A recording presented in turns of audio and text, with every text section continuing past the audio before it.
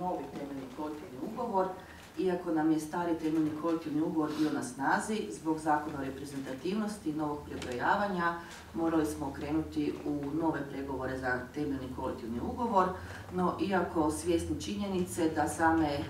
zakonske izmjene su nužne, mi smo ovaj puta u stvari obuhvatili i uskladili sam tekst temeljnog kolektivnog ugovora sa zakonskim odredbama, ali isto tako u ovom kratkom periodu radili na tome da se poboljšaju određena materijalna prava i nematerijalna prava u samom tekstu temeljnog kolektivnog ugovora.